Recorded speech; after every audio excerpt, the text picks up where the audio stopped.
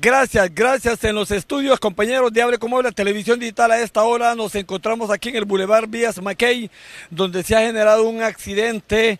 Podemos observar en este momento un vehículo pick-up, eh, cabina sencilla, 4x4 ha quedado aquí en esta cuneta, aquí en el sector del Boulevard Vías Mackay. Aparentemente el conductor del vehículo ha dicho que se le estalló una de las llantas y estuvo a punto de perder la vida, pero afortunadamente salió, podemos considerar casi ileso, solo con algunos golpes de consideración. En este momento le están brindando atención médica a los miembros de la unidad médica de emergencia del 911 en San Pedro Sula que andan bastante activos a esta hora. Caballero, ¿cuál es su nombre? Eh, Bayardo. Bayardo. ¿Con quién trabaja Bayardo?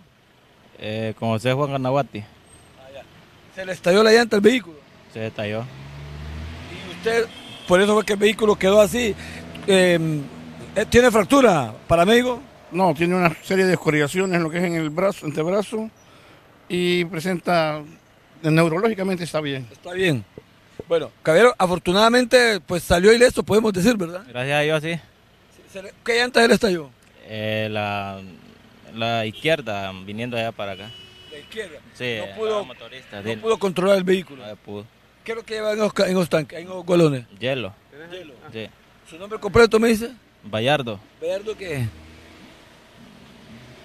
Palma. Palma. Bayardo Palma. Como pueden apreciar ustedes, Dora Carolina Jorge Bonilla, se salvó de milagro este caballero. Bayardo Palma vehículo le va cargado de hielo, lleva la bicicleta, se le estalló una de las llantas y quedó aquí en esta cuneta, pues prácticamente de lado quedó el vehículo. Afortunadamente, pues está bien y está siendo asistido por los miembros paramédicos de la unidad de emergencia del 911 en San Pedro Sula, que están bastante activos en las últimas horas. Con Víctor Carranza, el niño en cámaras y edición aquí desde el Boulevard Vía Mackay en la presencia informativa y noticiosa. Vuelvo a los estudios a esta hora.